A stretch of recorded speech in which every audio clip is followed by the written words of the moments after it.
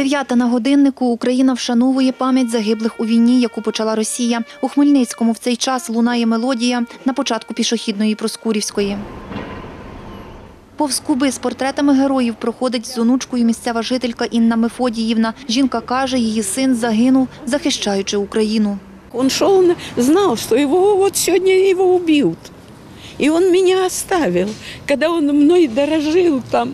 Мамочка, ничего не делай, бери себя для меня, за меня не думай, я приду к тебе. Онука Наталія каже, у їхній сім'ї вшановують пам'ять загиблих хвилиною мовчання, як сьогодні. І бачили, що деякі люди стояли і слухали.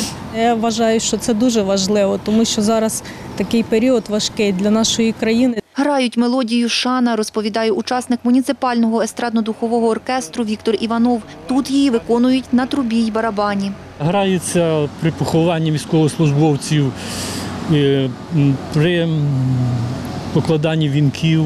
Розроблено статутом м, військово-оркестрової служби Міністерства оборони. Люди спочатку стають, дивляться, а потім вже більше з розумінням відносяться і вони розуміють, що це таке.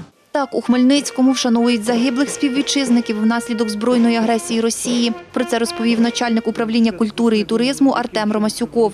На символічному місці е, для усіх хмельничан на вулиці Проскурівській, де власне ми вшановуємо усіх е, героїв російсько-української війни, героїв Небесної Сотні. Е, Мета цієї безстрокової акції привернути увагу хмельничан до загальнодержавної хвилини мовчання. Артем Ромасюков каже, вшанування мелодією загиблих відбуватиметься щодня, окрім вихідних, до перемоги України у війні. Вікторія Мельник, Олександр Горішевський, Суспільне новини, Хмельницький.